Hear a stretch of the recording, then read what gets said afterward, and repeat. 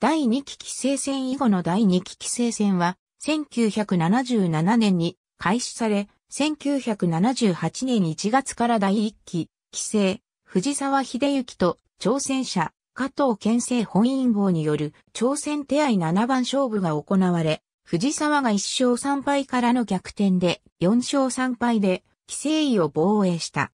各段戦の7段戦では、中川亀三郎門下で63歳のベテラン黒田幸雄七段が優勝し、注目を集めた。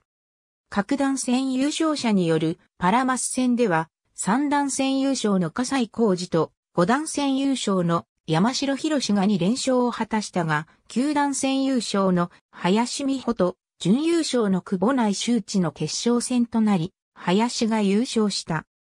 大竹秀夫名人、加藤健生本因坊、十段、五世、小林光一天元、竹宮正樹前、本因坊、前回7番勝負敗者、橋本宇太郎に、前段走破戦、ベスト4の工藤則王座、林美穂、久保内周知、本田国久九段の計9名が出場。三冠を保持する加藤と24連勝中で、期間中に大竹から名人を奪取した林が決勝3番勝負に進出し、加藤が2度の反目勝ちにより2から1で勝って挑戦者となった。この挑戦者を当てるファン予想投票では1位が林、2位が加藤だった。藤沢秀幸に加藤正夫が挑戦する7番勝負は1978年1月から開始された。加藤は第2の師匠と呼ぶ藤沢が第1期規制についた際に今先生と勝負すれば、僕が6部4部で勝つでしょうと公言し、藤沢も挑戦者になって出てこいと言い返していたのが現実になった。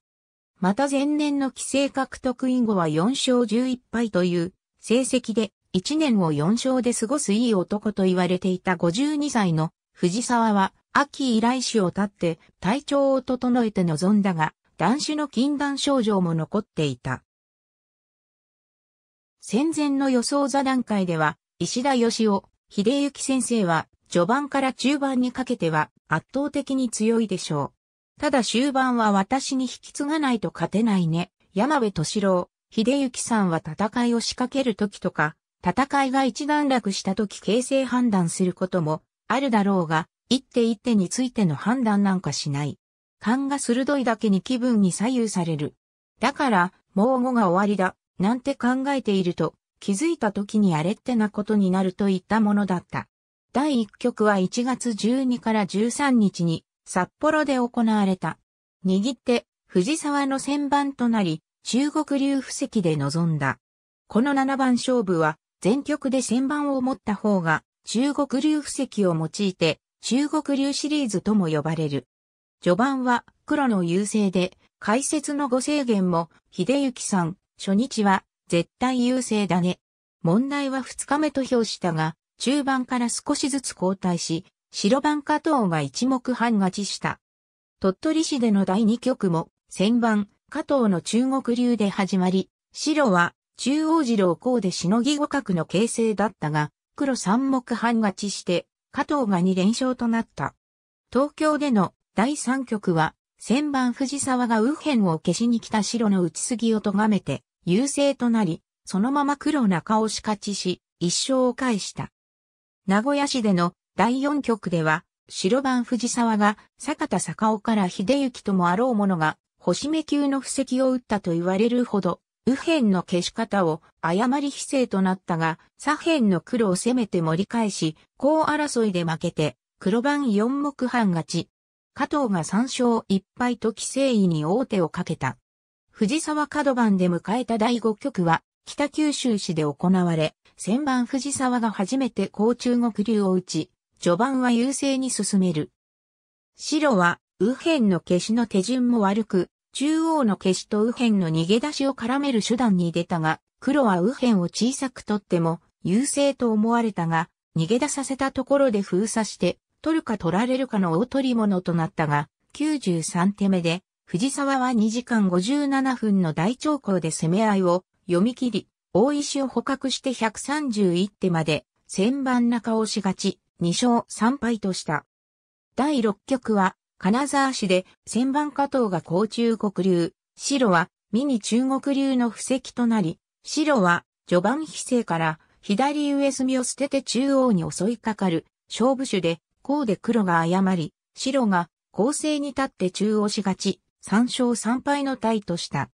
最終第7局は森岡市にで握り直して加藤が先番、序盤で黒優勢となったが、硬さが出て徐々に白が追いつき、最後に白半目勝ちで藤沢が規制防衛を果たした。初物に強いと言われ、第一期名人、天元などを獲得していた藤沢だったが、二期目を防衛したは、これが初めてだった。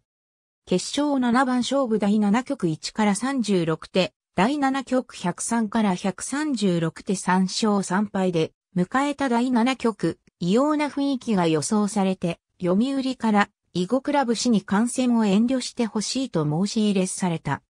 第5局までは、すべて黒の中国流と白の2連星という布石だったが、第6、7局と藤沢は4手目小目から白8までのミニ中国流に構えた。白24、26までゆっくりした布石。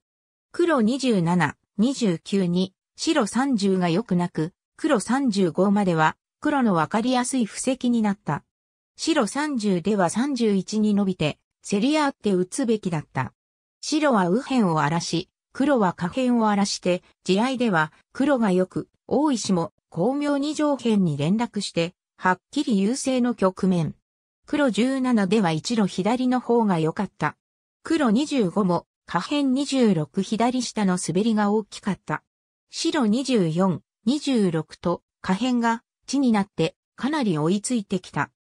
黒31に、白34では黒32で勝てないので、白32は勝負手で、黒33では34に這う手があったが、黒33、白34となって、半目勝負となった。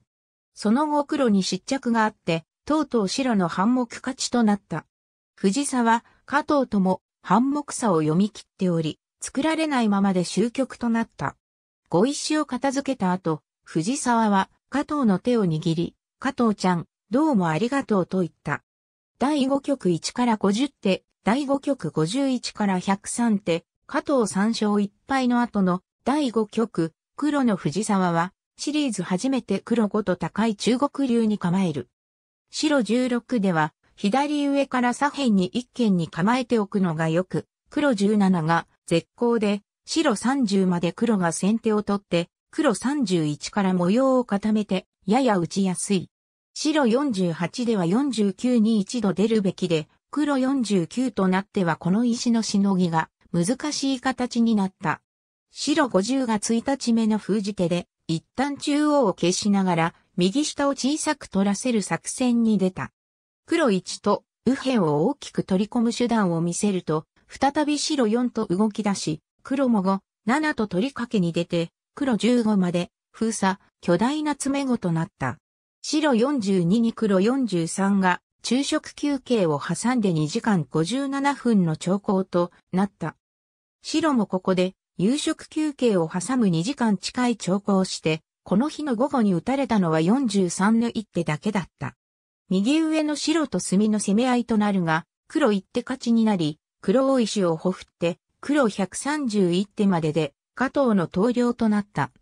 藤沢は1勝3敗から3連勝での逆転防衛で規制位2連覇を果たした。